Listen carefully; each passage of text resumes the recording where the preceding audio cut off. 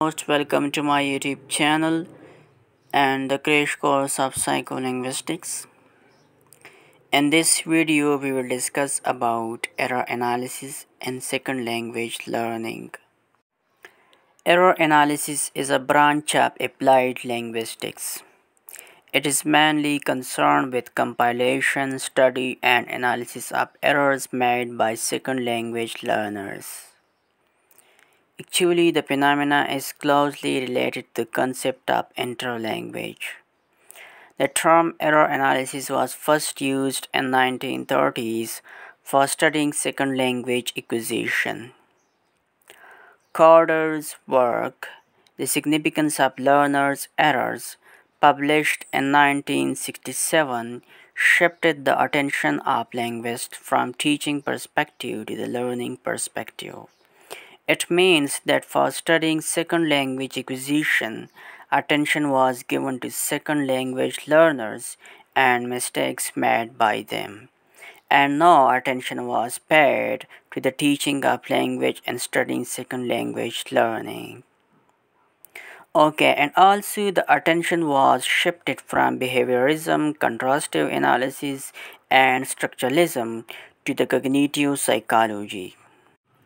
Okay, according to Corder, the second language learners hypothesize about the target language and then they apply that hypothesis on the target language. So the learner makes errors while testing out the hypothesis.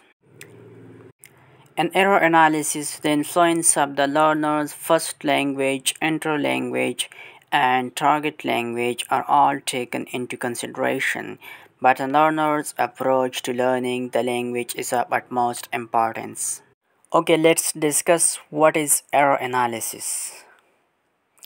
Error analysis in linguistics is an approach used to analyze and identify the errors made by second language learners in their language production.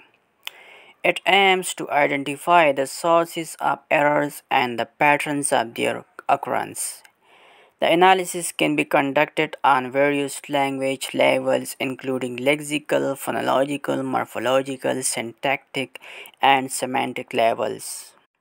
Error analysis can help linguists and language teachers to understand the difficulties that learners face in acquiring a, uh, a new language. It can also provide insights into the cognitive and social factors that influence language learning. From an educational perspective, error analysis provides a basis for developing effective language instruction and material design, as well as assessing learner progress and creating individualized learning plans. Okay, what is the significance of error analysis? To identify learner difficulties and needs, to understand the patterns of errors and their causes, to improve instructional materials and approaches, to provide feedback to learners, to assess learner progress and competence. Okay, what are the causes of errors made by second language learners? The first is mother tongue interference. Rules and structures of the first language can interfere with learning the target language. Learners may have difficulty producing or hearing sounds that do not exist in their first language. Grammatical structures can also be effective, leading to errors in word order or the use of prepositions. The second cause is overgeneralization. Overgeneralization means applying a grammatical rule too broadly where it does not apply. For example, a learner may use the got is the past tense of go. Actually, overgeneralization is either based on the pattern observed in the target language or the first language. Okay, the third cause for analysis may be induced error or faculty teaching method. This is a result of ineffective teaching methods that fail to accurately reflect the target's language. Incorrect or simplified grammar rules may be taught, leading to errors in production.